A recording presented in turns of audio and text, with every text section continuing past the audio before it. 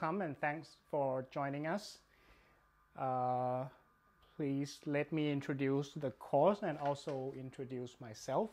So what we are going to talk about um, within this four days period, we will talk about convex analysis.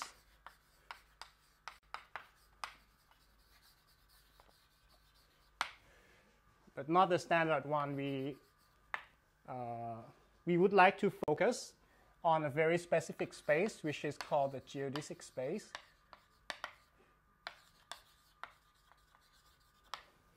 Okay, and by the way, just to introduce myself again, I am Parin Chaipunya from KMUTT, King Mongkut University of Technology, Thonburi. Um, I'm from Bangkok, Thailand. And this topic have been, has been my main research topic for more than five years, I think. And it's still a very young topic. Um, it was uh, it was officially born, I think, less than 20 years or at least 25 or something like that. Okay, and it is the topic where I also um, studied when I was a PhD student. And by the way, um, before before we start, I have to thank um, CIMPA Research in Pairs for granting me um, this opportunity to to participate, to do research, and to give this course. And um, again, before we begin, um, since we don't have the lecture notes right now, I, I will try to implement the lecture note and put it online in the website of CIMPA and as well I will put it in my private website if you care to uh, visit and download it later. Just my name and surname glued together and .com. So after a week or two, I think you, you'll be able to find my lecture there. Okay, so let's get into the topic. I will first um, give you a short introduction of convex analysis in geodesic spaces. So the first two questions that I am going to address is what is convex analysis in geodesic spaces and why do we need to consider this? Okay, so convex analysis serves as um, um, a basis or a foundation for optimization and also for uh, variational inequalities and their generalizations and so on and so forth. And geodesic space, okay, that was convex analysis, and now the geodesic space um, you can you can think of this geodesic space as a very general uh, framework that allows us to talk about um, line segments that joins between two points and therefore the very definition of convexity itself. Um, why do we need to go this far to this generality? Well, there are two main reasons. The first is from the application point of view. Um, as you might have noticed, the optimization theory, convex analysis, monotone operator theory have been much generalized recently into the setting of manifolds and beyond, um, thanks to the study of data science, um, machine learning, or data analysis, or, or, or anything in that branch that gave um, very important practical applications to this kind of studies in geodesic spaces. And actually, geodesic space is more general than a, a manifold. So we, we, we, we don't have the, the luxury of, of having the smooth structure or differential structure. So we have to attack the problem purely in, in, in terms of geometry. Um, that is the first motivation from uh, from application point of view. And the second motivation from theoretical point of view is that uh, we can do quite a lot of things when, when we consider manifold structure. And that is because of the smooth structure or differential structure that a manifold has. But when we step out, when we step backward to this case of uh, geodesic space, we don't have such a tool. So it's kind of interesting how to overcome this lack of tools. And instead of attacking the problem analytically, we need to attack them geometrically instead. And um, you will see throughout my lecture that um, many of the results are still true, are still possible when we generalize them to the setting of geodesic space. Actually, um, it's not the general geodesic space that I am going to talk about. I'm going to talk about the CAT(κ) space, which is a very specific kind of geodesic spaces. And um, okay, so to know what works well is one thing. And the other thing is to know what goes wrong in this setting. So it is not a direct generalization in a sense. Um, not all the results will be generalized straightforwardly into this kind of spaces. Some, some of them do, but many of them do not. So in this course, we also address the similarity and the differences um, that we have between these general geodesic spaces and what we have in the manifolds or in a, a, linear spaces. Uh, so what to expect from, from my lecture and what not to expect. So what to expect is you, you will see a lot of ideas how, how, how, how the results are generalized and relaxed in this um, setting. And what you will not see that much is the proofs. So my aim is not to prove everything, to give the proof to every theorem, to every proposition, to every lemmas.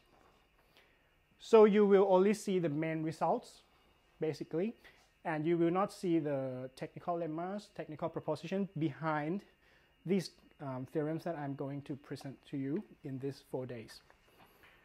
So let me give you a very quick overview of what I'm going to talk about. So um,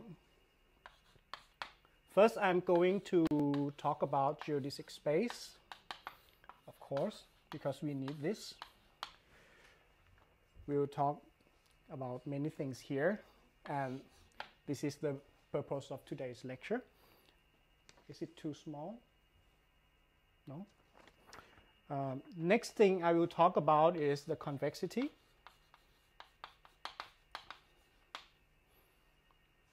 Okay?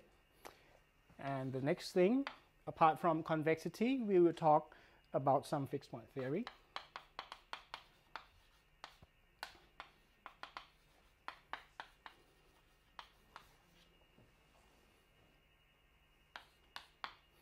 Next, we will talk about um, optimization algorithm. Okay, so what did I call it? I called it proximal.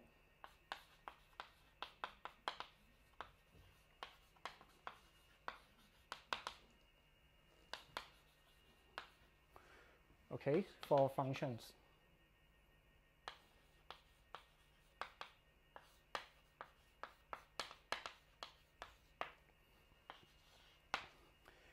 And five, we will finally, five, we will talk about vector fields or I will call it the first order theory.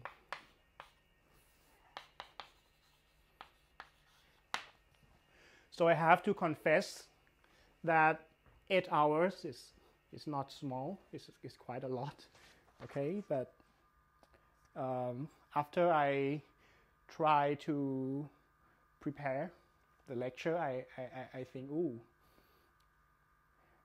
all of these things in eight hours, mm, this is huge. But okay, let's, let's try to go for all these.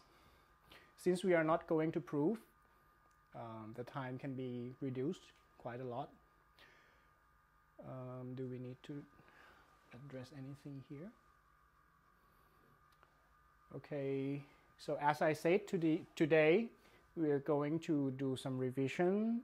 I will introduce you the geodesic space and the CAT(κ) space, the main ingredient that we will be using. Tomorrow we will cover the convexity and fixed point theory, hopefully. And it's not the whole um, fixed point theory in this space. We will only um, focus on the part that will be applied to convex analysis. So the first first thing that I would like to to apply this fixed point theory to is um, to study the convex feasibility problems, which we we talk about um, uh, the products of of of of of, uh, of, of metric projections, and it can also help a little bit, not a little bit. It also help in the study of proximal algorithms, which we will talk on Wednesday. And finally, on Thursday, we will talk about the first order theory. Uh, there are some standard references for, for, for these uh, topics. If you want to study geodesic spaces and some property regarding the convexity in this space, uh, very standard text would be um, the text by Burak, Bur- Tuburago and Ivanov. So I call that BBI. It's, it was published by um, the AMS. Another one, a little bit newer, would be the, the textbook by Bridson and, and Haefliger.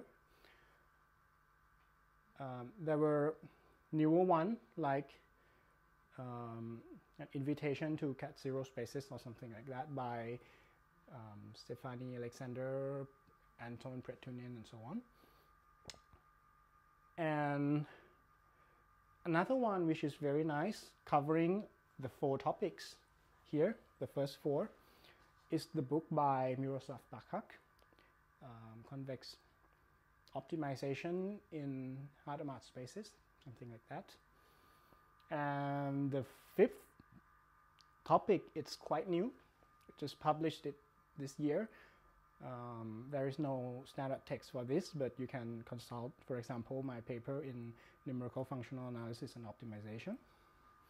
Okay, so these are all that we are going to talk about in these four days. Okay, so let us begin with the first one, which is the geodesic spaces. Okay.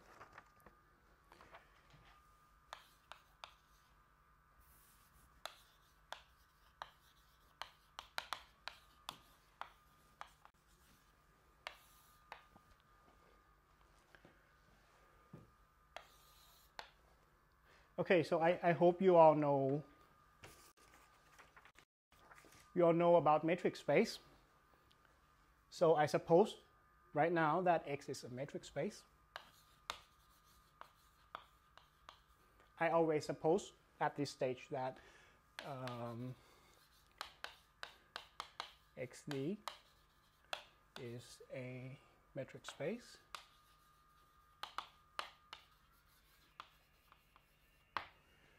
Okay, and first we need to define what we consider as a curve on a metric space. So a curve on X is any map, any continuous map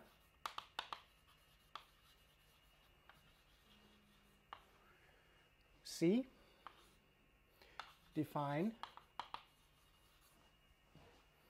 on some compact interval. Let me call that AB. This is a compact interval in the real line into X. Okay, very general. We don't ask anything more. Okay, a curve is just any continuous map C defined on a compact interval of R into the space X. X here is a metric space. So we can we can talk about continuity here because we have the topology here. Good. Uh, so we don't ask anything about this curve. It can have self-intersection. It can, okay, you can have self-intersection like this, or even more uh, confusing like this. And here is CA, and here is CB. And we call these two points the endpoints of the curve. Okay, so we call these endpoints.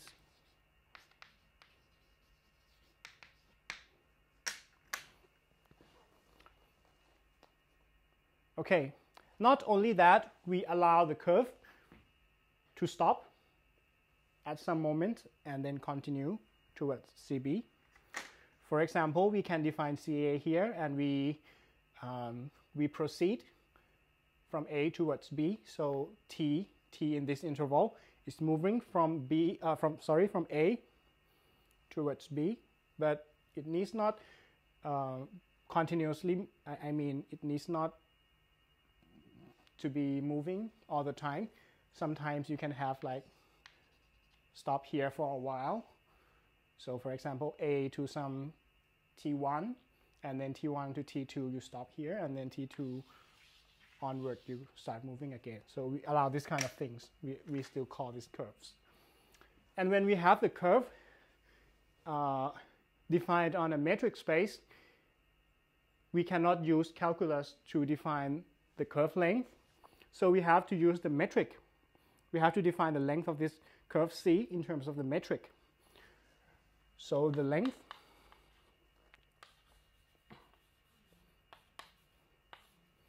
okay, of C. C is this curve. Um, let me specify of the curve C. C defined on C to AB into X. We define this by using this formula. We use L to denote the length uh, not so clean. We take it to be um, supremum of the summation um, distance between CTI to CTI plus 1. Can you see? Okay. Okay, so from i equals to 0 up to n minus 1. And what, what supremum do we take over?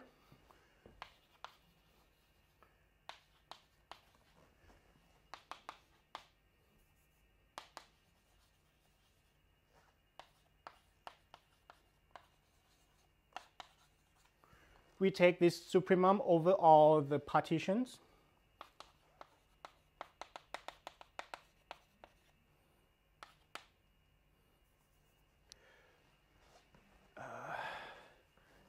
I can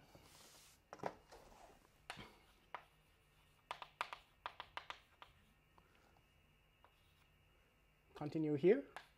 So we require A to be equals to the first T0 and then we have a strictly increasing finite sequence up to Tn which is B. Okay, so we have the partitions of this interval AB defined in the finite sequence T0 up to Tn for some um, integer n, positive integer n. Okay, so what, what exactly is this length? So, so, so, so first you can, you can observe using the triangle inequality that uh, the more, the finer, the finer the partition, the lengthier this, um, I mean, this quantity will be larger if the partition is finer due to the triangle inequality. So what we actually do is we take, okay, suppose this is T0, T1, T2, and so on, up to finally Tn. And then we measure the distance using the distance function itself, using d. So you have the distance between um, ct0 to ct1. Then you add it by the distance between c at t1 to c at t2 and so on. So this is the summation. Okay? And you keep keep doing this kind of partitions all the possible ways and you take the supremum. Okay, so this is how you define the, the curve of, of uh, uh, sorry, the length of a curve in a general metric space.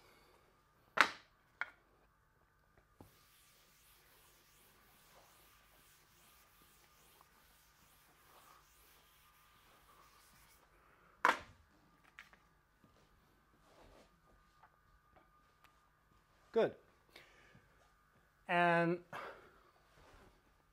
okay, since we are taking the sup, we are taking the sup here, there is nothing to, to guarantee that this supremum will be finite. Okay, I need to move towards this side. Okay, okay, so since in the definition we take the supremum, uh, there is no guarantee that this quantity will be finite.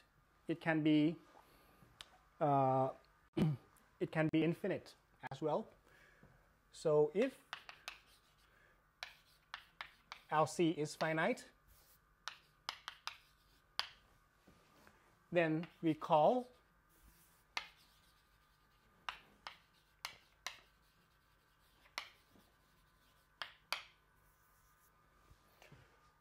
we say that C is rectifiable.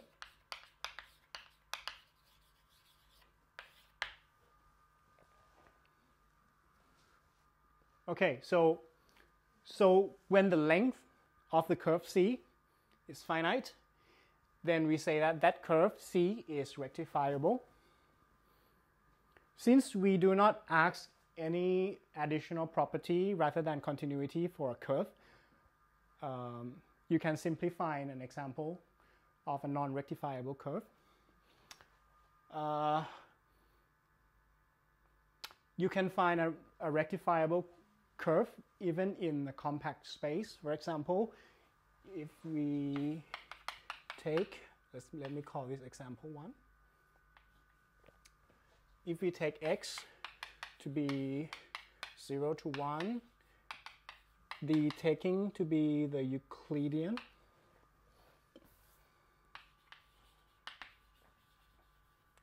um, the Euclidean distance um, induced on this uh, subset. That means the distance is uh, measured by using the straight line. And we define a curve C from 0 to 1 into x. Of course, x is again 0 to 1. And define this C to be any curve such that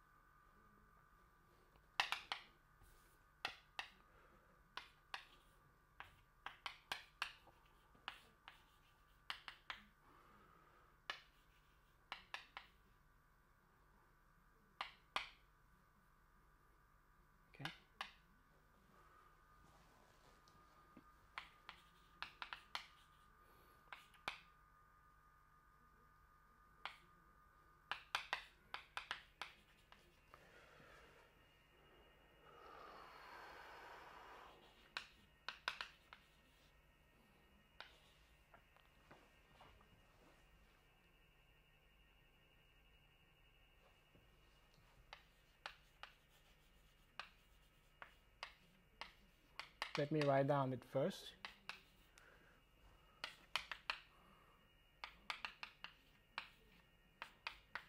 Okay, so we can define a rectify a non-rectifiable curve like this, even though in this. Okay, so even though the space X is uh, compact. So we define C like this. C is defined on um, the compact interval 0 to 1 into X. And we don't need to specify this. We just need this to be any curve such that when you take the value at Ti, okay, when you take the value of uh, at Ti, the position of this CTI will be exactly at this point. Of course, this is this belongs to interval 0, 0 to 1. okay, and we require one more thing. Ti here must be a sequence that sums up to 1. Okay, for example, this can be 1 over 2 to the power of i plus 1 or something like that. So 1 over 2 plus 1 over 4 plus 1 over 8 and so on. Okay, that can be um, the sum of ti. That will sums up to 1.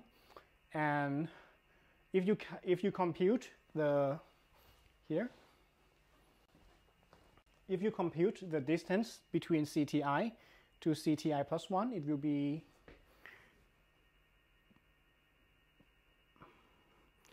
it will be 1 over i plus 1 and when you take the sum uh, sorry when you take the sum as the partition goes finer and finer it goes to plus infinity. So this is not a rectifiable curve defined on a compact set. What can we say about uh, the length of a curve related to the metric d because because here the, the metric d is not taking to be the length of any path of any curve. Okay you can just define it to be for example the discrete metric. So discrete metric metric is either 0 or 1 so you don't have curve between any two points and you cannot really measure the length of I mean you can measure it like this so it's either 0 or plus infinity. But uh, the distance itself does not come from the length. Okay, so one observation.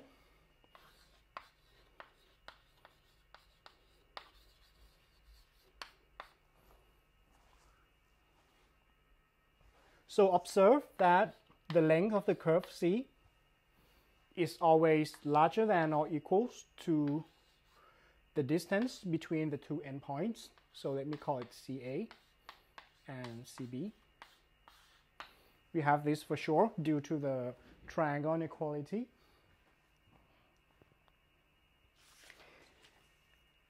Okay. Now, as I told you, since this distance, the, the original one, is not coming from any length, we want to regularize them because not coming from, from a length is not natural in, in, in our applications. So I want to, to come up with another, another um, distance, distance. Okay, so, so we will define another distance based on the notion of the length of a curve.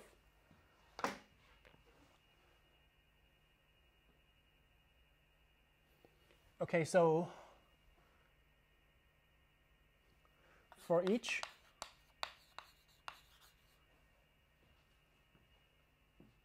for each x and y inside x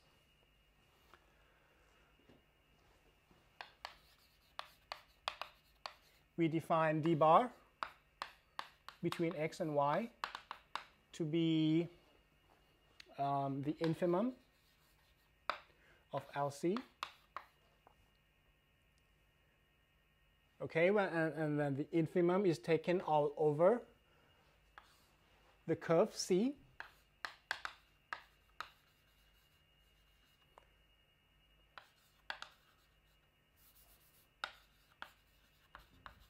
whose endpoints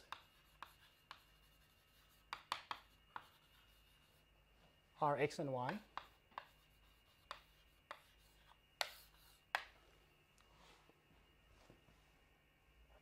All right.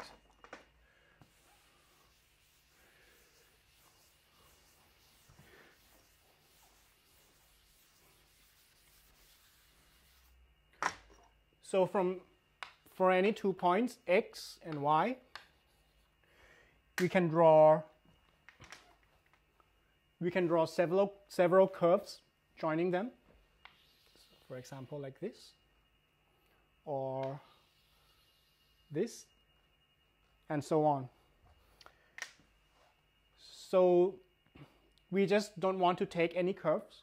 We want to take the curve that um, in a way it is the shortest one, but actually that curve might not exist, of course. So we, we, we instead we, we, we, instead of taking the mean, we're taking the inf. So in this case, maybe it's this one, uh, the one which looks more straight.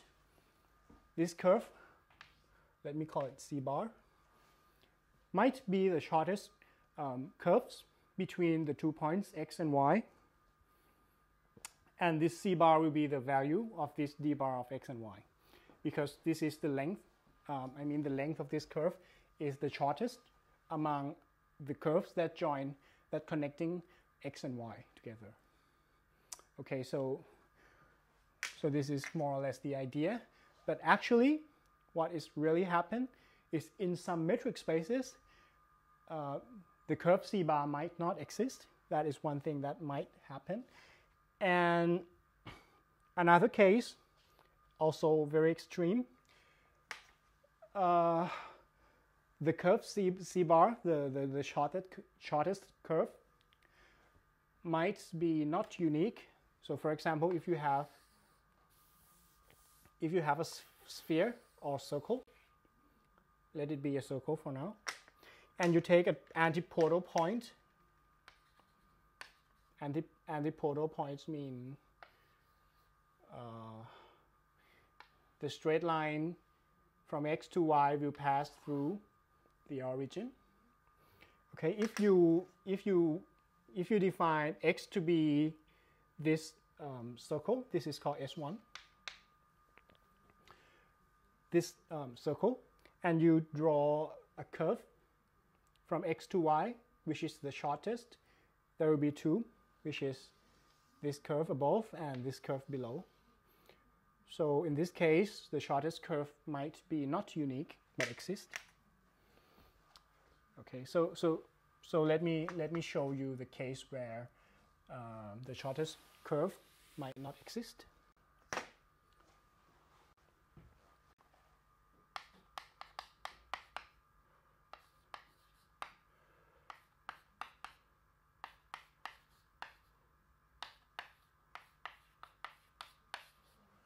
Okay, we take x to be a puncture to R2, like the Euclidean plane, and I take the origin outside. And of course, D is still the Euclidean.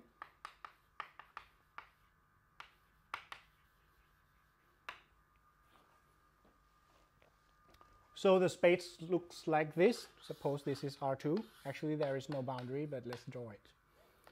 Okay and this is the origin. There's no origin because I take this out. Okay, and then I take two points.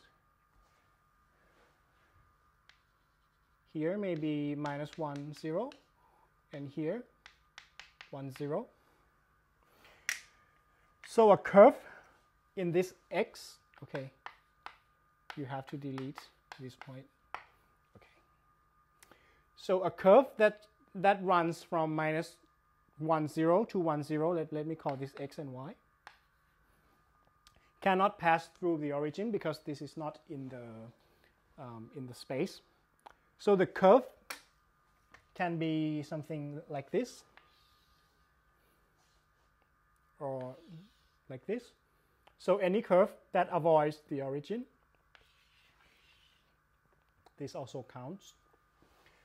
But well, if you take the infimum among these curves, you still get the Euclidean distance between x and y because you can you can take the green line like this and you, you make it flatter and flatter, closer and closer to the origin and so the, the, the, the, the length of these kind of curves will converge towards the Euclidean distance between x and y. So So in this case, uh, d, d here, which is the Euclidean distance, coincides with this d bar.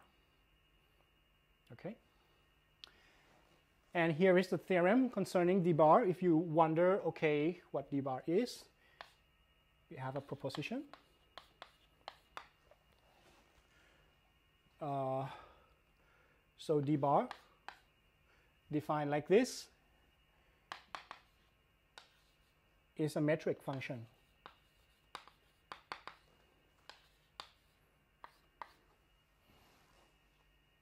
Okay, so if you want to prove, you can you can try to prove it yourself. But as I informed you, this course is not about about about, proofs. So I will I will just not prove this, but let you know that okay, if we define d bar to be the infimum of the length, this is a metric on x, but we have to make precise what kind of metric it is. I will make a remark later, but for now, let's just call this d bar metric on x. Um, and we have d bar is always larger, always larger than or equals to d, the original um, metric. Okay, so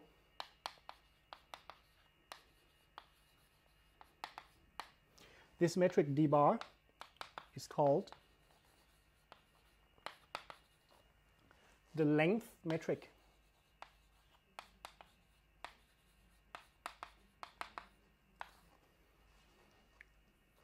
induced by D.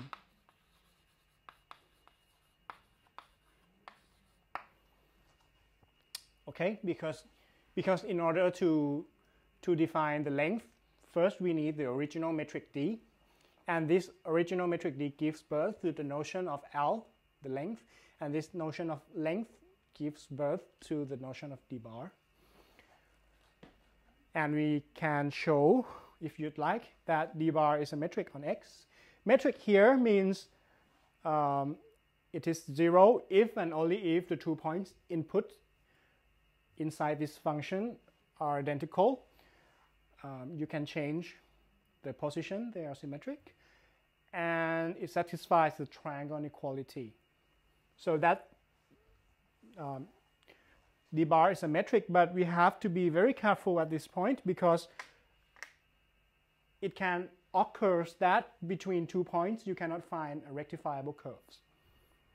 And so if there is no rectifiable curves between the two points, that means this infimum will be plus infinity, will not be finite, right? Because you define it to be the infimum of the length. If there is no rectifiable curves connecting them, then LC is always plus infinity and the infimum is plus infinity. So d bar here is a metric. If we allow um, the definition of a metric to include the value of plus infinity.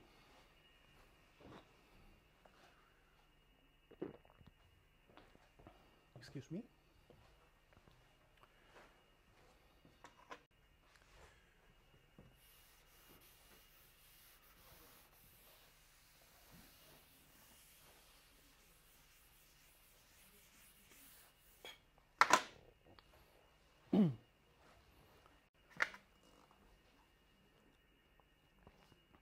right. So let's let's go back to this example. Let us call this example 2. Let's go back to this. If we try to construct d bar out of this metric d, you will um, see that d bar here is actually d. So this is uh, this is already a length metric.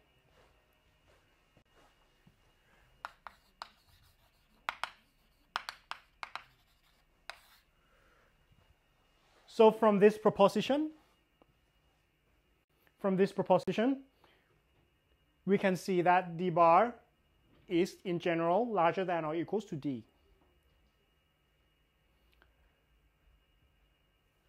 Okay, so d bar is larger than or equals to d.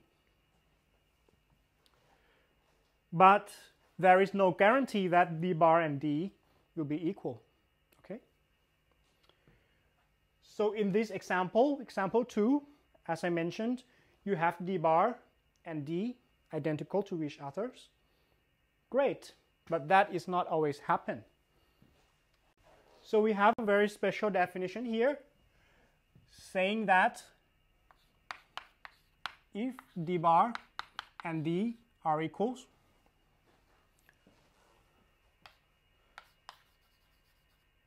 then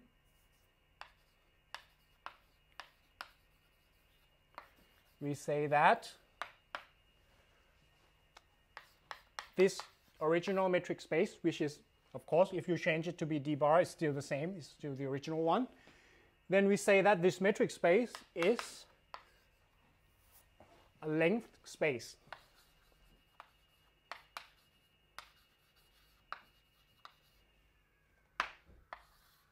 Okay, it's a length space because the distance itself is measured using the length of a curve. Okay, the shortest length of a curve or the length of the shortest curve or whatever that you um, feel comfortable about. Okay. Okay, so this is the definition of the length space. Now, let me go to the main definition of the talk here because we uh, uh, the name of the talk is geodesic space. I mean one part is geodesic space. So what exactly is a geodesic? As I drew earlier over there, that we don't ask anything about a curve. So it can it can cross itself, it can decide to stop if they if it wants, but that is that is not what we want. Okay, that's um, too general. We want something more regularized. So we come up with another definition.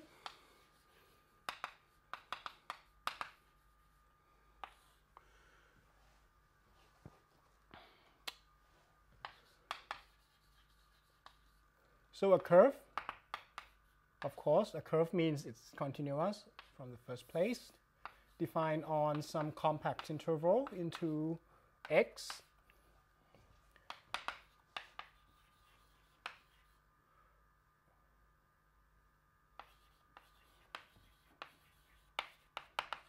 We call this curve a geodesic if you can find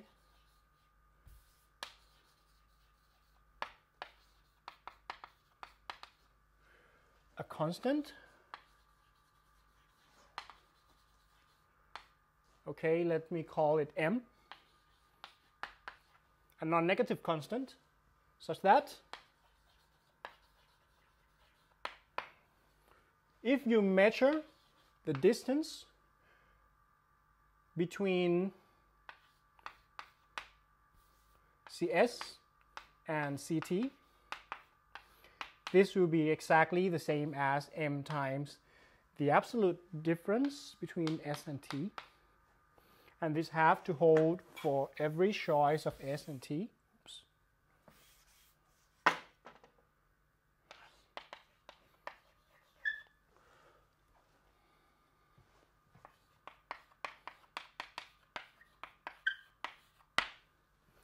Okay, so this has to hold for every choice of S and T belong to um, the domain of the curve. Mm -hmm.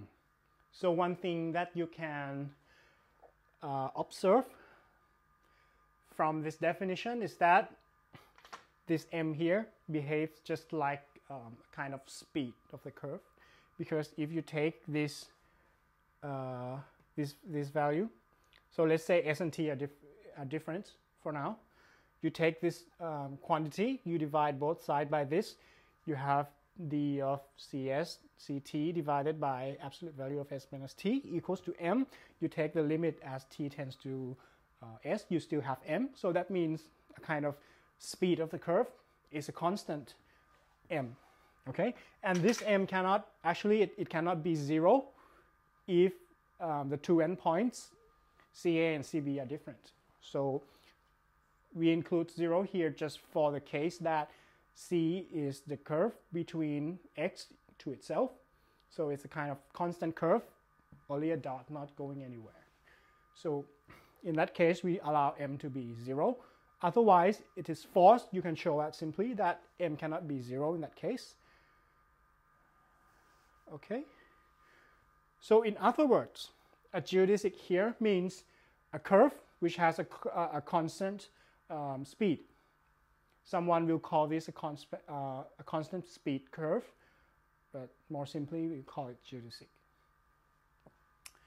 Uh, there are one remark here. If you are very into differential geometry, you, you, you may find the word geodesic as well, but that can, be, can mean different things. Um, in, in that uh, topic, a geodesic might refer to a curve which is self autoparallel. If you take a kind of uh, connection or different uh, gradient or something like that, it will kind of parallel into itself. And here is not.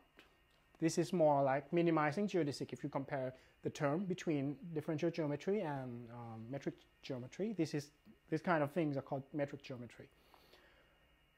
Okay, and you, you have forced another thing from this definition. It's a little proposition here that if C is a geodesic,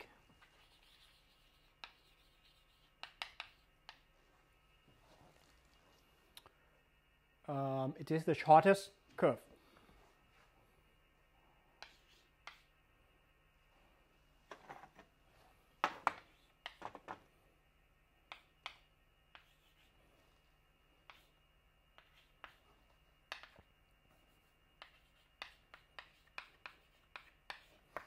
Is the shortest curve. And of course, this definition might not be relevant if you don't have, no, I should be here. Okay, so this, def this definition might not be so relevant, so or should I say irrelevant, if your metric mm, d is not a length metric.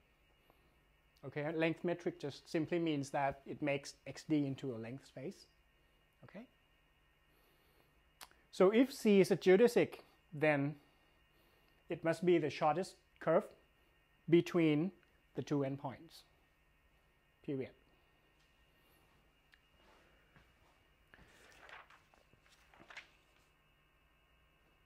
Okay, so let's see what do we have.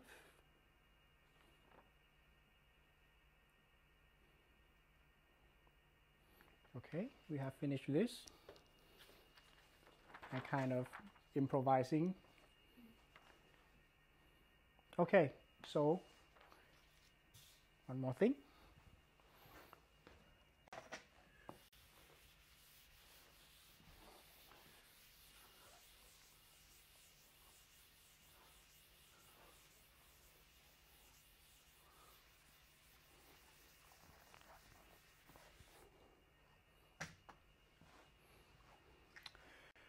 Okay, notice another thing from this definition. We don't ask anything about the domain. It can be just any compact interval in R. Okay, so that is not so convenient if you if you want to apply this in, in a more general context. We will be using this definition of geodesic very, very often. Actually, this is the main definition that we need to use throughout the, the, the course. Uh, so so we will, we will precise the domains. There are, there are two cases. Hello, okay. So there are two cases of the compact interval AB that, that we are kind of prefer to use.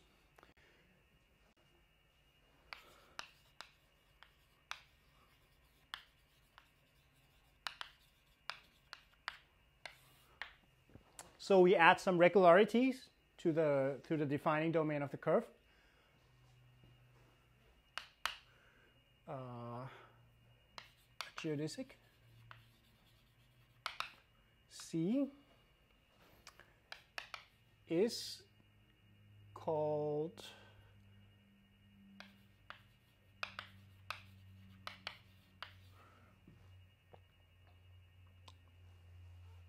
what is this? No, here.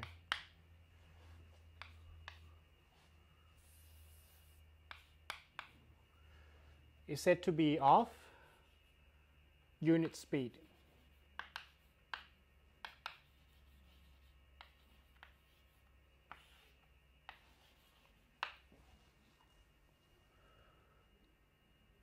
Uh, if C, okay,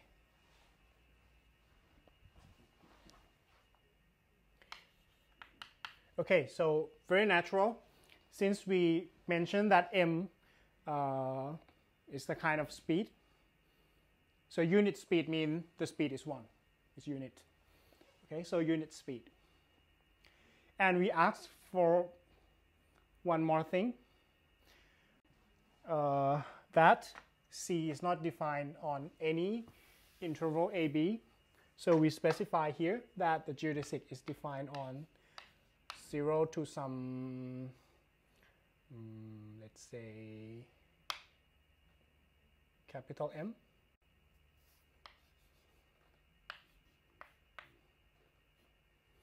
Capital T is better. To X.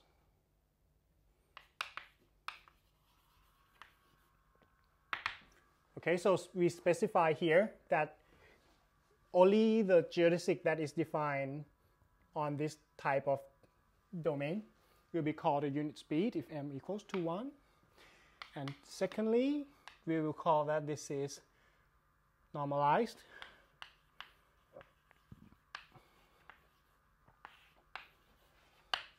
If m equals to the distance between the two endpoints,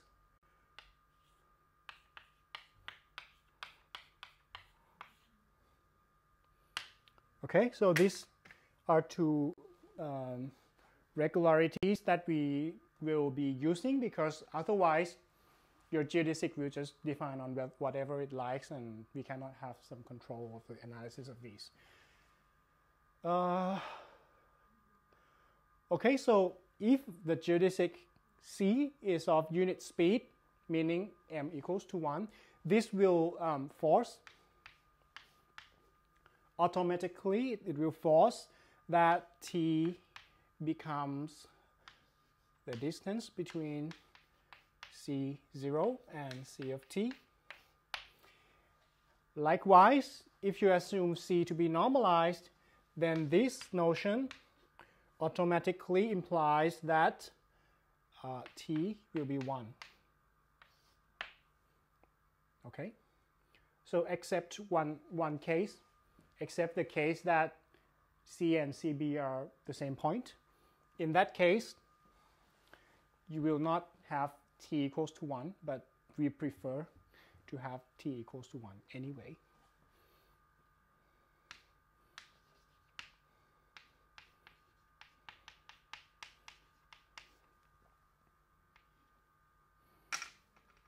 Okay, so how about having a pause here for something like five minutes? Hi guys, so let's continue. okay, before the pause, I talked about the two regularities that we are going to assume. So one of them will be used. And okay, so you might have some uh, questions about, okay, we have a geodesic, we have a curve, we have a geodesic, and what then? Okay, and I have to give you a note. Okay, so I have to give you a note because, well, if you if we just make these kind of assumptions, will it be appropriate? Will it, will it reduce, will it narrow down uh, the usability? Maybe. but I have to note here, let's call it, let's call it a remark. Uh, any shortest curve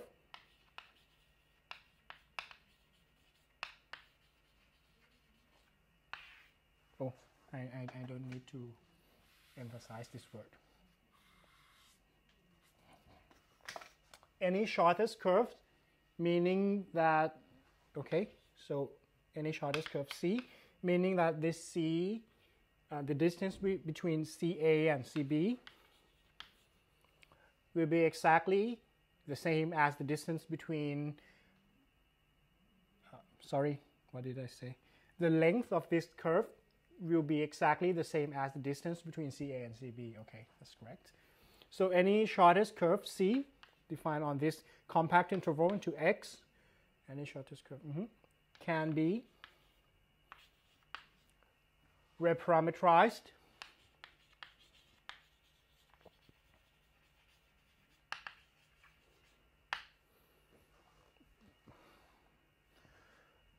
can be reparameterized into a geodesic.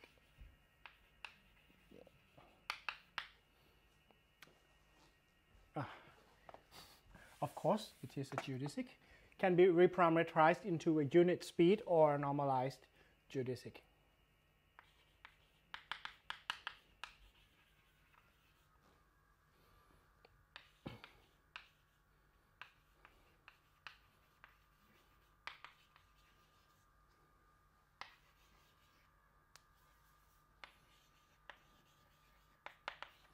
When I said it can be reparameterized into a geodesic, that is also correct. But we can do more. We can reparameterize it into either a unit speed geodesic or normalized geodesic as we wish. Okay, so according to this remark, using these two restrictions on the definition of a geodesic will not narrow down any perspective at all. Okay. Let me go back again to, the, to, to my favorite example, the punctured R2. Uh,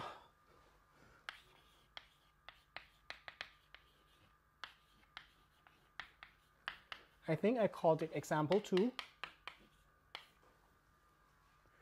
So if you look back into that, you have you have R2 but you delete the origin.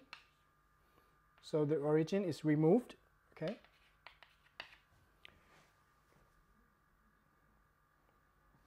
And as I said, that if we take two points here, minus 1, 0, and 1, 0, and we call this x, we call this y, right? There is no geodesic between x and y. There is no shortest curve between x and y.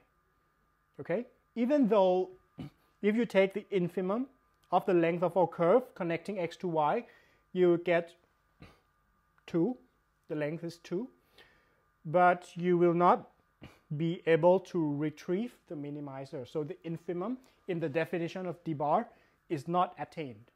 Okay, there is no minimizer, there is no shortest curve. Okay, so now we ask uh, what kind of space can we always have a geodesic or can we al always have uh, a shortest curve? Before that, let me call that space a geodesic space.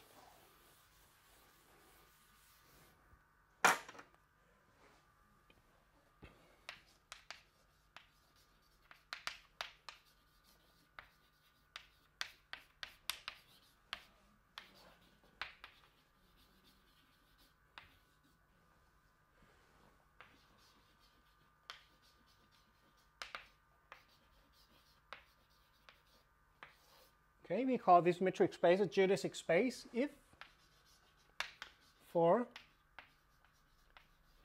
any two points x and y.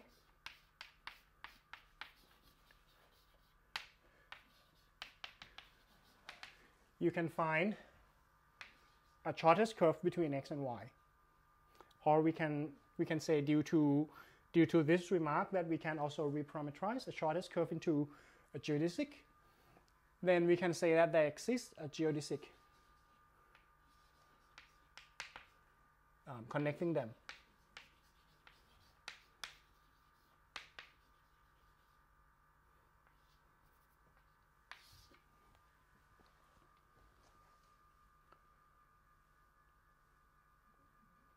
Okay, so this is uh, with this notion. Now we can we can say things in a simpler manner. So go back to this. Go back to this um, example. I can simply say that okay, R2 punctured the origin uh, with the Euclidean distance is a length space because the distance can be recovered by taking the infimum of the length of the curves connecting x to y, any x to y. Okay, it is a length space, but it is not a geodesic space because between, for example, this x and this y, you cannot find the shortest curves in between them, connecting them. So this is not a geodesic space. Okay, so so you cannot um, mix up between a length space and a geodesic space. Okay, length space, in length space, the distance is just recovered by the shortest, uh, the infimum of the curve length that connects x to y, but that infimum might not attain, that might not be attained. While in the geodesic space, the minimizing curve must uh, must exist. Okay, so that's the main difference. So you may ask, okay, one natural look to this, okay, if you delete this one point, then the space is not complete. Okay, and the attainment of, of a minimizer usually be related with the completeness of the space. That's one, one condition. Another one is the com compactness. So these two conditions are main criteria for um, a minimizer to, to exist.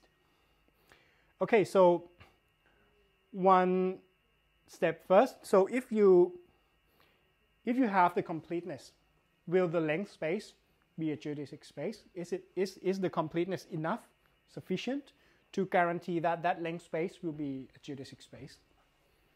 Okay, so question, a big question. So is a complete length space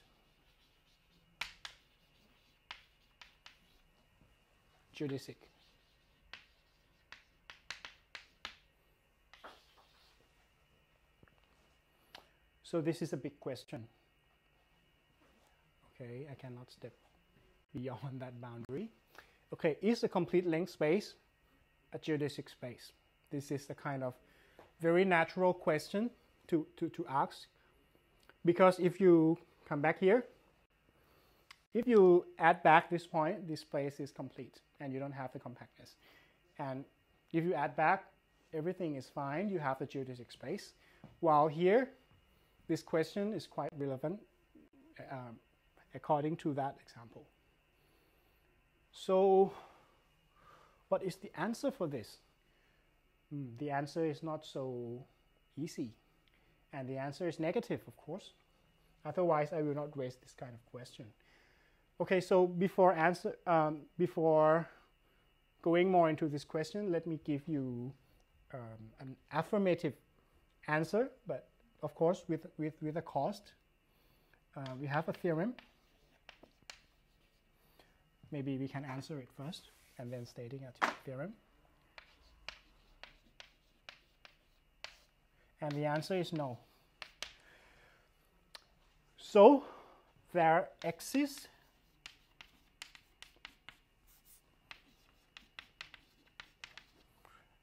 complete length space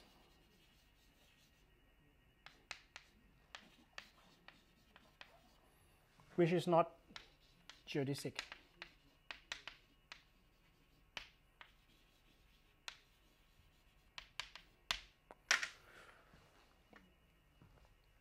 But the counterexample is extremely difficult to, to, to give, so I will not give it here. You can consult, I think, a, a textbook by Werner Ballmann. I think they address this kind of um, question. If you look into, for example, Bridson and Haefliger, which is quite uh, extensive in a sense, it still at least I checked it yesterday and I did not find uh, a counterexample. But it exists, I guarantee you it exists, but it is not obvious or not simple by any mean. And okay, so since it's not, the next question to ask is under what assumption, what additional assumption can we put in here and make this complete length space a geodesic space? And okay, compactness will be too strong. So we step back one one step and impose the local compactness on the space. I call it the theorem. Actually, it's a very big and it's a very well-known one. Uh, this is due to actually the, the result is known as the Hopf-Rinow theorem. So I should remark that the name and the the name Hopf-Rinow theorem and the person who proved it are different. The theorem is called Hopf-Rinow, but the, th uh, the, the one who proved the theorem are Cohn and Vossen. So I will give the reference here. Cohn and Vossen. I think they proved this theorem in 1975. And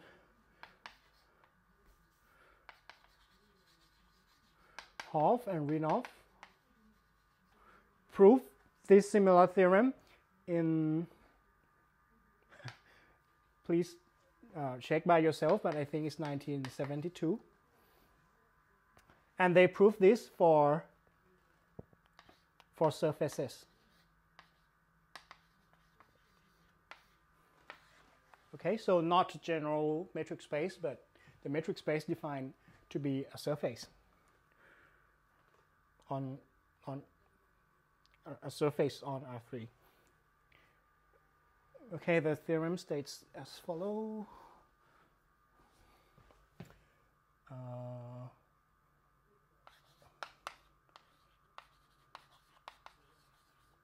a complete and locally compact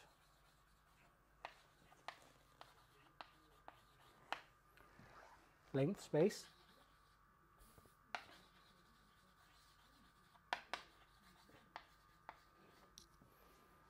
is geodesic. Okay, so we have two conclusions, which is which which are both very important. So the first one is geodesic.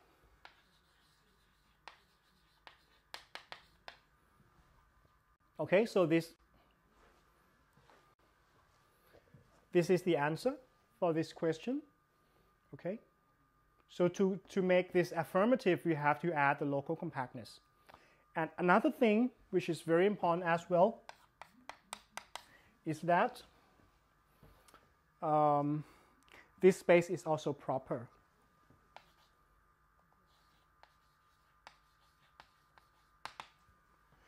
Proper in which sense? In the sense that every closed bounded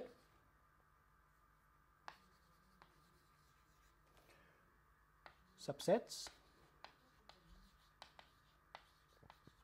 are compact.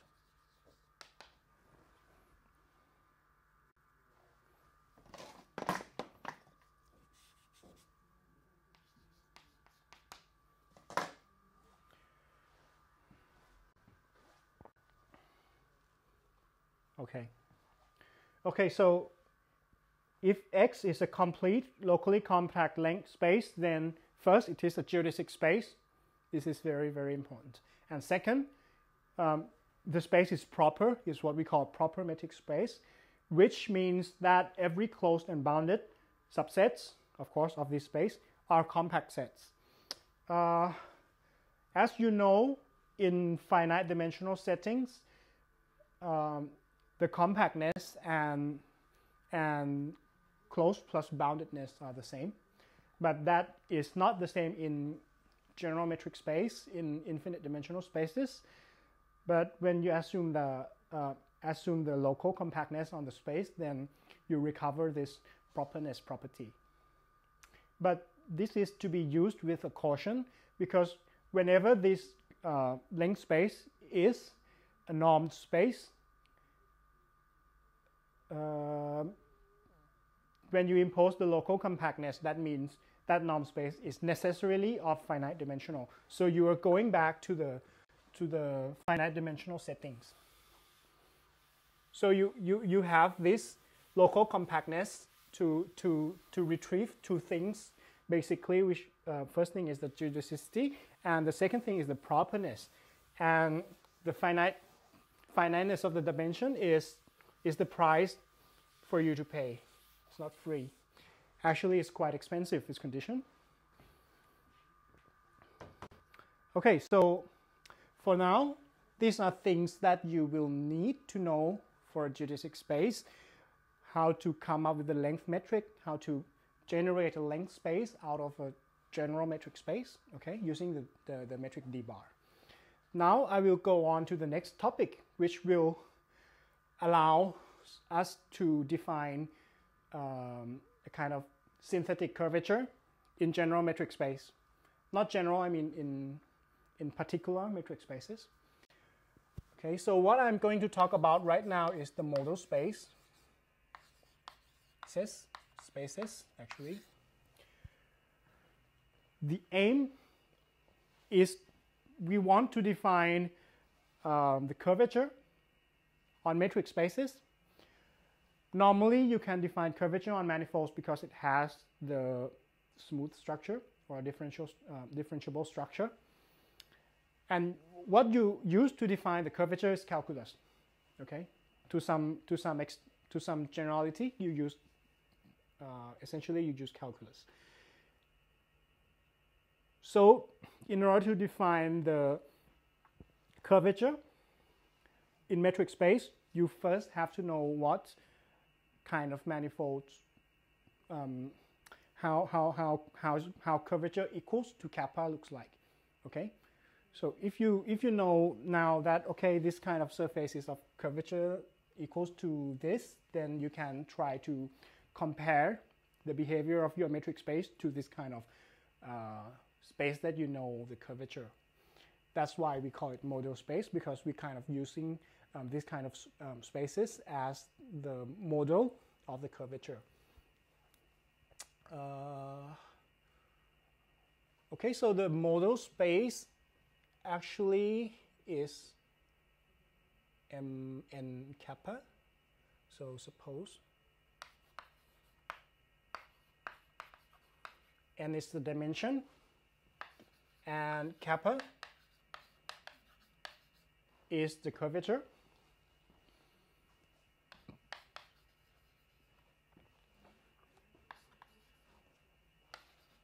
Then we define mn kappa, model space of dimension n, curvature, sectional curvature equals to kappa we have to specify which kind of curvature we are using, right? Because um, in a manifold, you have so many kind, so many types of curvature. You have sectional curvature, you have Gaussian curvature, Ricci curvature, so on, and you you have curvature which is not a scalar as well. Okay, so you define m n kappa. Kappa is the sectional curvature that we are going to use. We define this to be the complete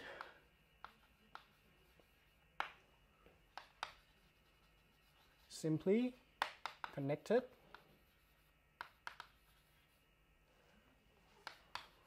Riemannian manifold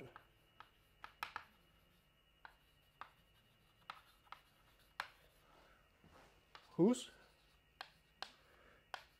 sectional curvature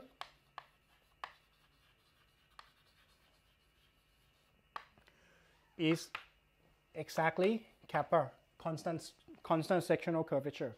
Okay, you can define it like this because at the end, if you come up with a, with a different kind of manifold, then it will be isometry to the to what we are going to define here.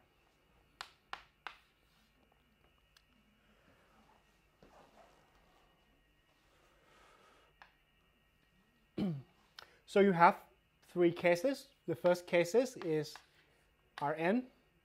Of course, Rn is the Euclidean space. You don't have any curvature to that. It's very flat, as flat as you wish. So this is um, the case where you don't have the curvature at all. Kappa equals to zero. Another case is when kappa is positive. In this case, well, I shall write Sn,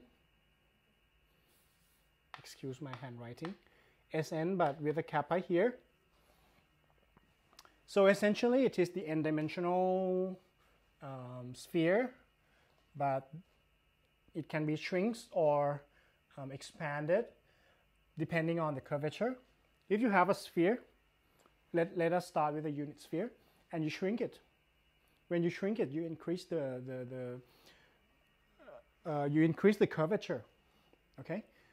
Let's, let's imagine when you walk um, one centimeter, in a large circle, it's still quite flat. But in a very small circle, one centimeter mean a lot. You, you go down a curve quite a lot. So if you shrink the diameter of the, of the sphere, then the curvature will increase. This is, this is a very rough explanation, okay? But, but it works somehow like that.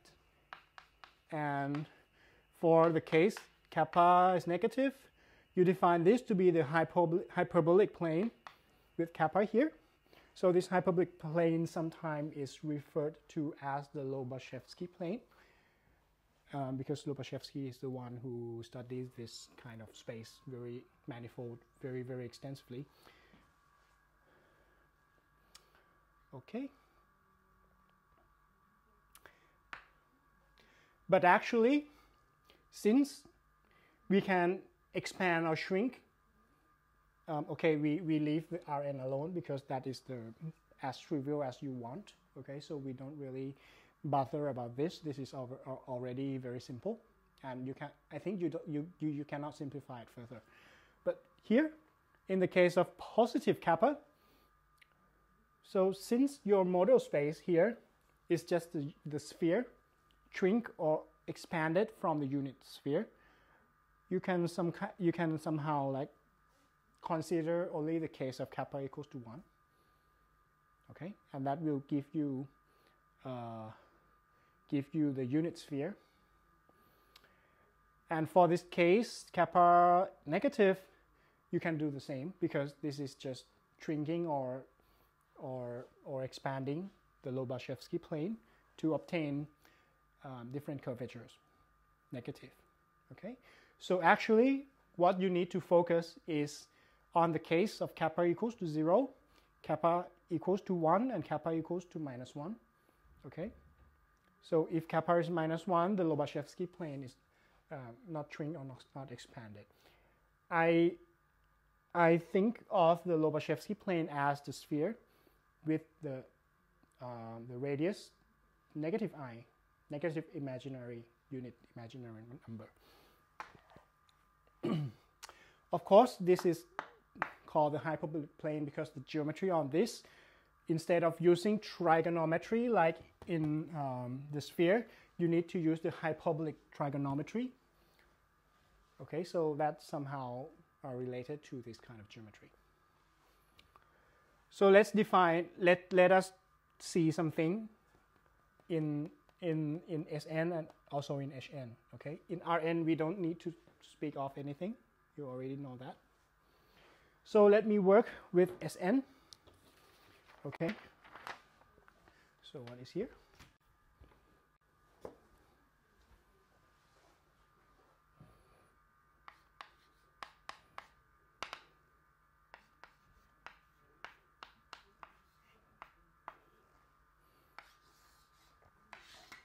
Okay, let's consider this case. Mn1 because kappa is 1. So in this case, we consider the sphere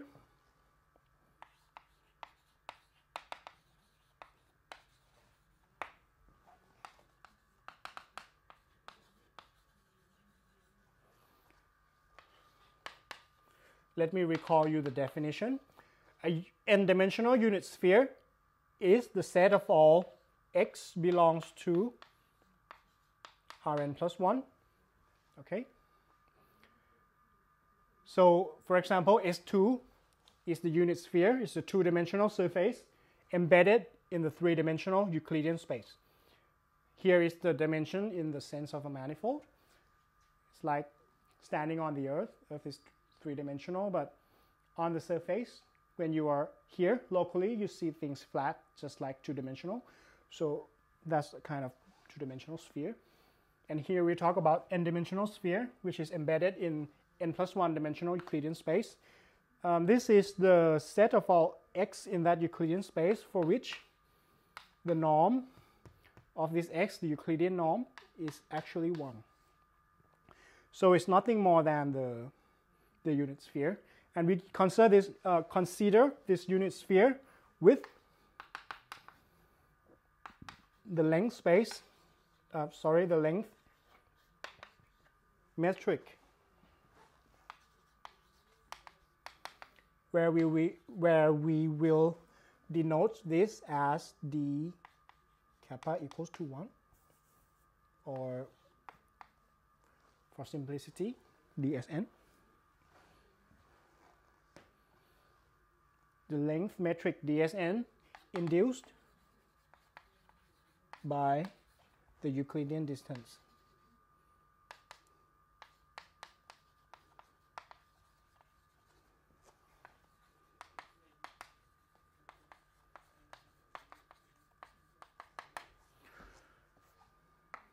Okay, so essentially the unit sphere, n-dimensional unit sphere, is a subset of n plus one dimensional Euclidean space where the distance that we are going to use here is the distance which is the length metric induced from the Euclidean distance on Rn plus 1.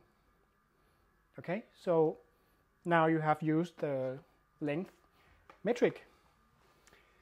But things are not so complicated, thankfully. We have an explicit formula for that length metric.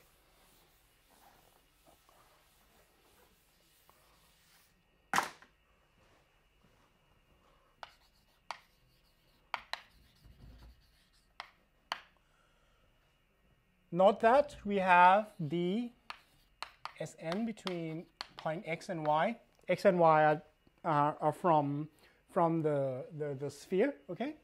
So distance between two points on the sphere can be computed to be the arc cosine of the dot product between x and y this form, uh, okay, arc cosine, correct. All right, this is a very simple formula for the distance.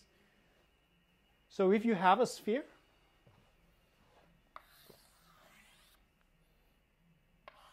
let's say this is three-dimensional sphere. You have a point x here, you have a point y here, and um, the distance here is length metric, okay? The distance is measured by um, the shortest curve that connects x and y and this curve runs on x okay? And of course you have here the origin which is actually not not on this sphere it's the center. You have a sphere which is hollow. You don't include the origin or but somehow you can make use of the origin you have x here, which is a point on the sphere, but at the same time, you can consider this as a vector um, from the origin pointing toward this point x and also for the y. Hmm. Maybe I'm not choosing a good point. Ooh, this is broken. Let me choose another y. Maybe it's better for illustration. Okay.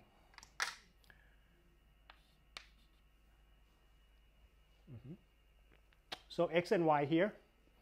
You take the product, which somehow measure the the um, the angle between these two vectors. You take the arc cosine. Then you um, actually the the product is not the angle, but it reflects the angle. The sine of the sine of this product reflects the angle, and taking the arc cosine just give you the length here. Okay, so the length here is given by arc cosine of the inner product or the dot product of x and y. And moreover, since this is the shortest um, curve, it is a geodesic in a sense. And you can define a geodesic in a very specific way.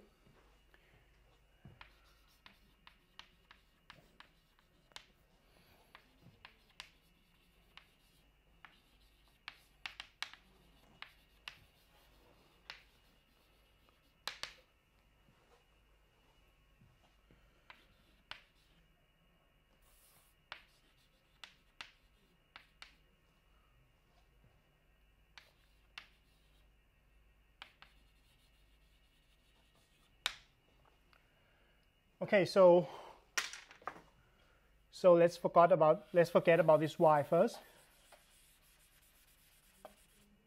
And you pick one x.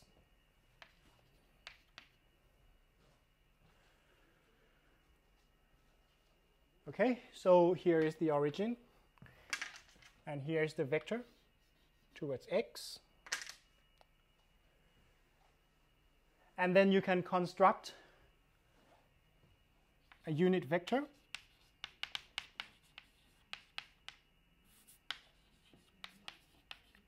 u belongs to uh, the orthogonal subspace generated from X. So what is this? This is just linear algebra, so I don't I don't want to repeat much. X perp is the set of all vector v in the space. Here is Rn plus 1 such that the inner product between x and v equals to 0. Okay, this is the definition of x perp. So where is x perp here? Let me write it. Let me draw it green. So is a plane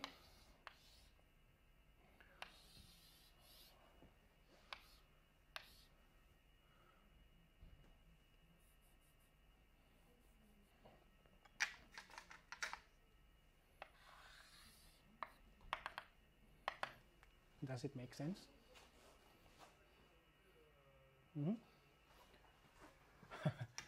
it's not a Saturn, okay? So is a plane that is cutting through the origin and this plane is making uh, 90 degree with, um, with this vector x. And you take a unit vector u, any one from this xperp.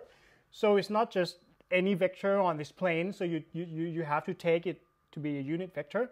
So you have to, to, to lie on the on, on the surface, on the sphere, because it's unit. And it makes 90 degree angle between x and u. Let me call this u. And then from this, you can define a geodesic that runs from x and goes through u up to any point that you would want. Okay, so let me call this C A or CT.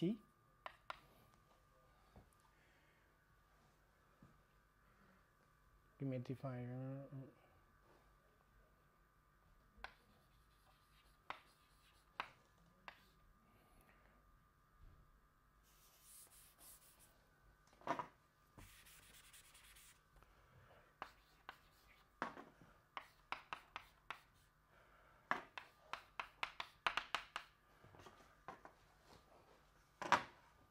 Okay, we define this CT to be cosine of t times x plus sine of t times u. Okay, so I broke one of the eraser. Okay, let me write it in the same line.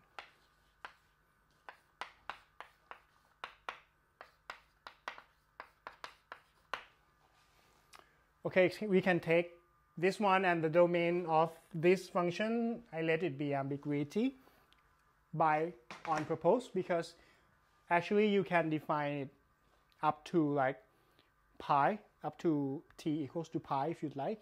And this, um, this curve will be a, a geodesic joining, of course, from x, joining any point that this curve pass through.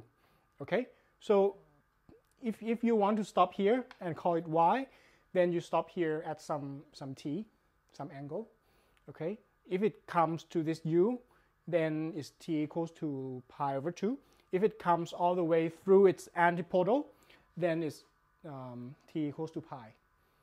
So I, I will leave the domain of t to be this kind of um, ambiguity situation because you can define it up to the t that you want, up to capital T that you want, as long as t, capital T is less than or equals to, to, um, to pi.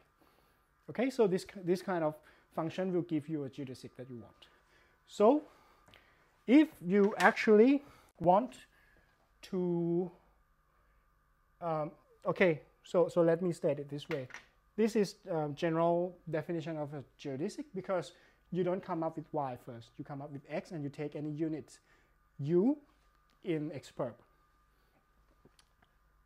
Uh, in practice, if you want to construct a geodesic that joins the two point x and y, you work a little differently.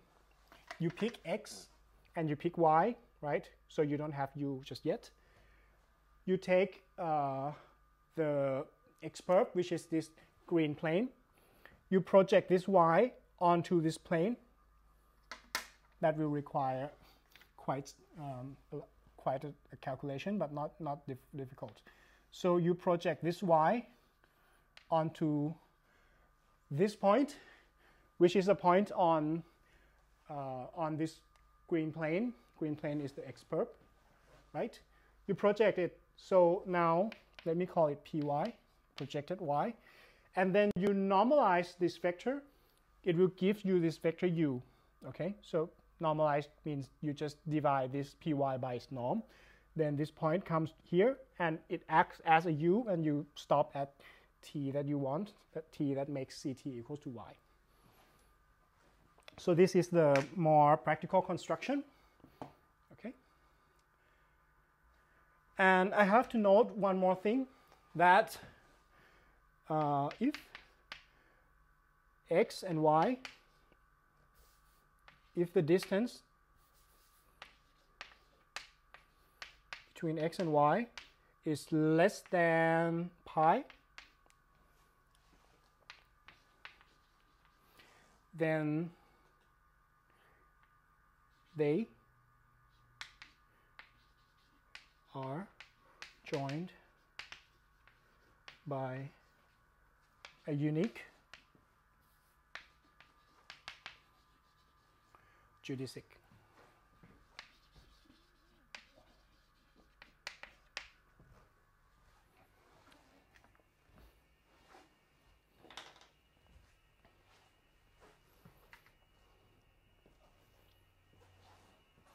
Okay, so this is all you need to know about the sphere for our purpose.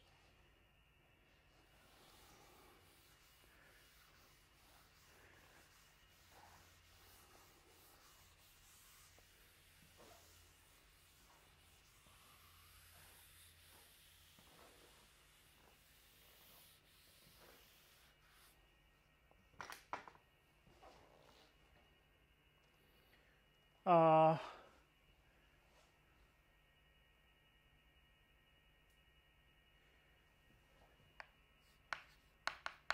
we also need the case where kappa is minus 1.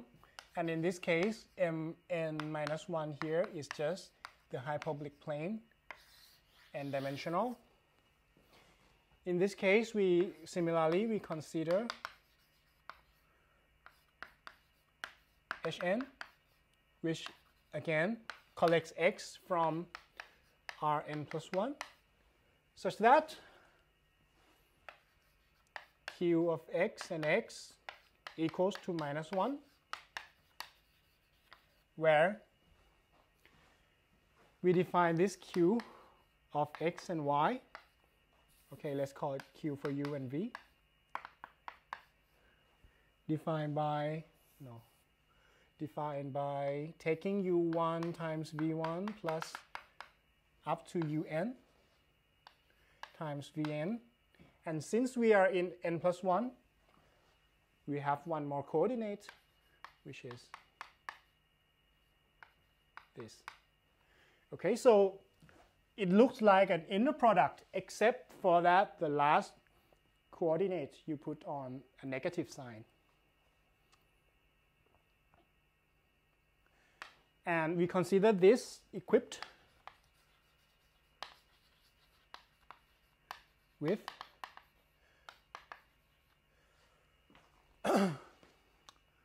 equipped with the length metric, which is called the HN induced by the Euclidean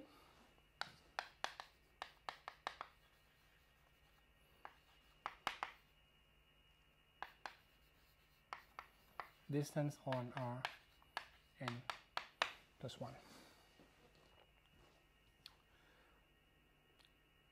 Okay, so similar things except for that, instead of inner product between xx, that is the same as norm squared, we use this instead of the inner product. This is called a quadratic form with a specific kind of matrix. Okay, so this is have to be minus 1. And if we draw this, this will be a hyperbolic plane. This is an, just an asymptotic, okay?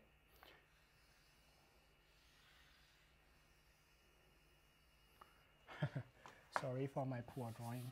Let me draw it again.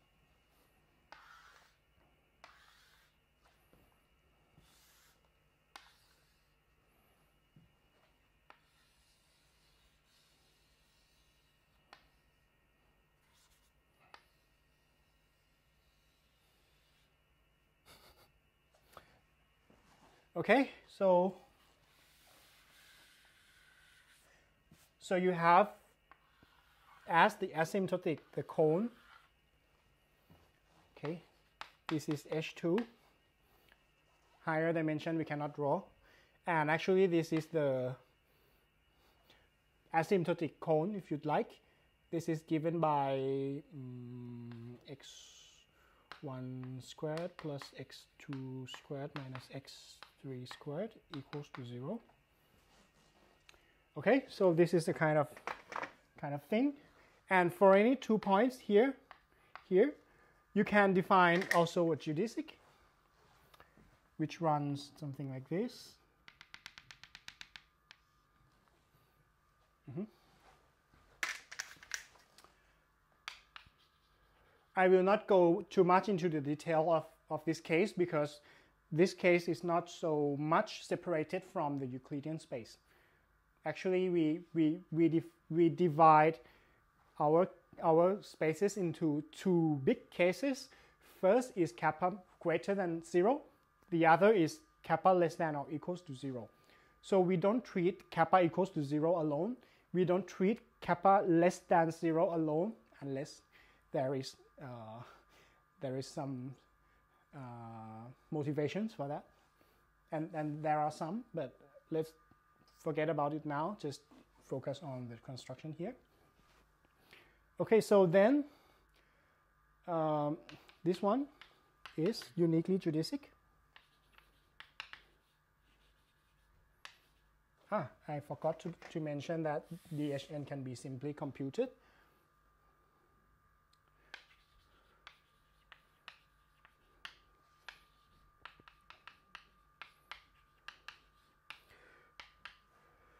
Uh, this can be computed as a kind of analog to this. So this is, uh, you instead of taking the arc cosine, you take the arc hyperbolic cosine. And instead of the inner product or the dot product, you have to take a negative of q xy. So the negative negative of q xy will be a kind of inner product for this kind of space. Because if you if you compare if you multiply minus 1 both sides here you have minus qxx equals to 1 and minus q minus q is behaving somehow similarly to the inner product there. Okay so it's defined like this and the geodesic um, from x will be constructed.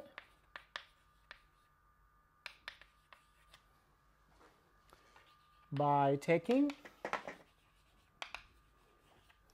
a u of course from Rn plus 1 such that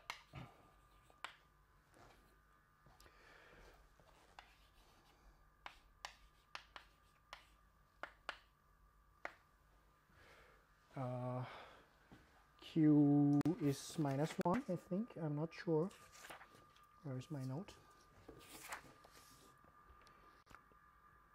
Yes that's correct. Okay so QUU equals to 1 this kind of unit property. And you, you, you should have something similar to the X perp but here you have q uh, x x and u equals to 0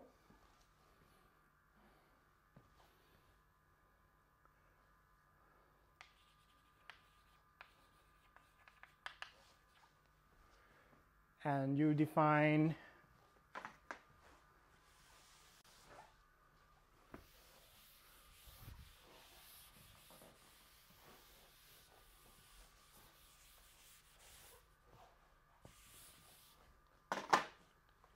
and you define the geodesic bind.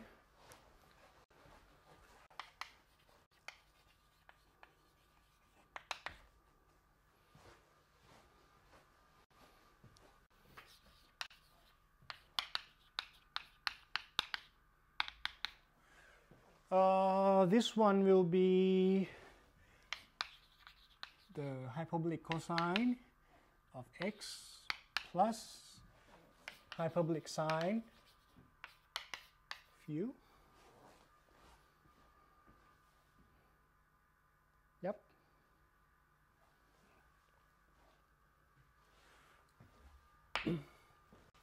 okay, so back to this board. Once again, what you actually do is you, okay, it's three-dimensional, it's very difficult to draw. So suppose you have just H1. H1 is a subset of R2 and you take x here, what is actually happening there is similar to this, it's isometrically similar. So you have um, a tangent a tangent line to this x and you take u here which is unit with respect to q and then you define a curve in this direction with u. So this is what happened if you go back to this case, then instead of having a tangent line, you have a tangent plane, but it's very difficult to draw here, so I prefer to reduce to the one-dimensional case. So you have the unit plane and you, you can choose a kind of um, unit vector rotating around, around x, around here, around the plane, and you have u. So if u is pointing downwards, maybe you can define this red curve that joins x to y geodesically. Okay.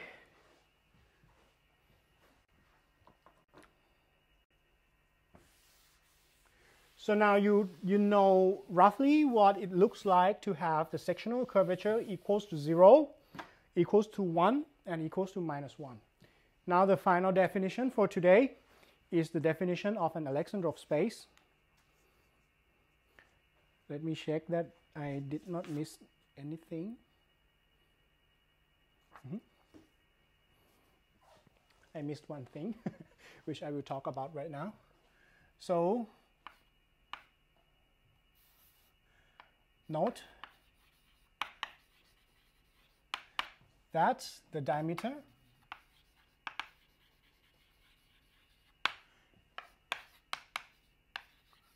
written as d kappa of the model space M n kappa.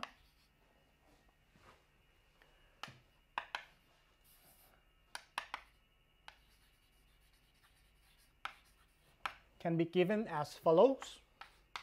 So d kappa is is the diameter. You just simply take the supremum of distance between two points in the space in the in the model space, and you will find that the diameter will be plus infinity if kappa is less than or equals to zero, and the diameter will be okay if kappa equals to one, then it's your unit sphere and the diameter is pi. If you shrink or or ex expand, then it's the matter of square root of kappa. That will change in the diameter because the diameters, it's a sphere, it's due to the quadratic curve. And this is for kappa positive. Okay, so that's all for the diameter d kappa. Now, the final definition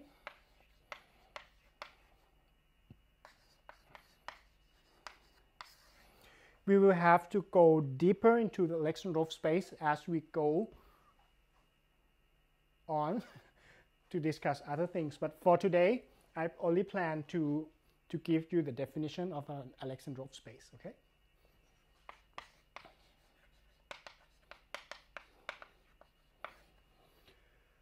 So, a metric space, more precisely a geodesic space,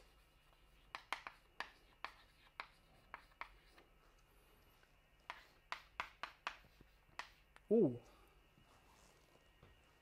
Geodesic space X and D is called an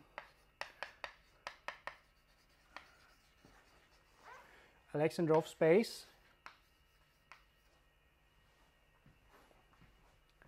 with global curvature bounded above. Okay, so this is CBA, curvature bounded above. Oh, let me call it later. Curvature bounded above by kappa in R. If we have this inequality,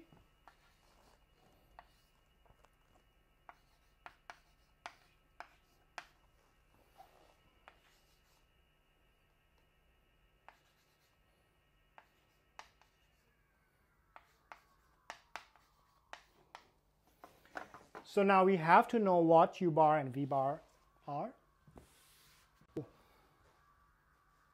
I have to also mention u and v here. Focus on me. So if any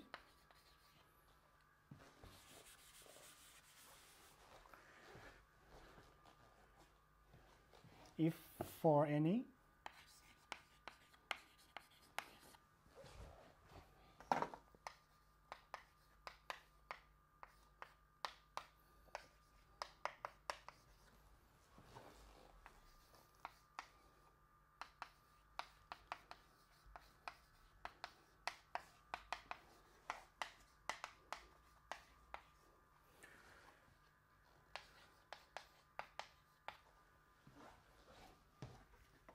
continue there.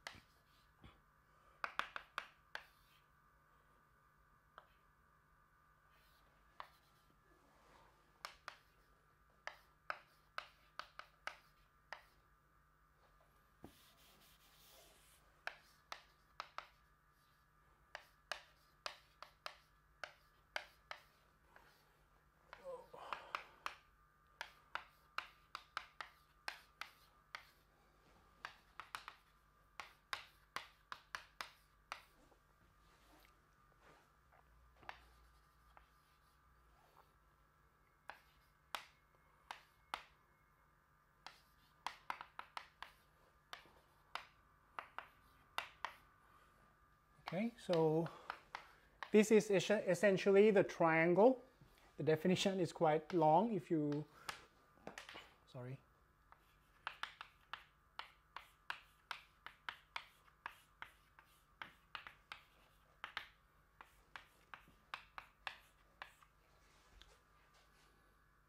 Okay, so you have xu, x bar, u bar.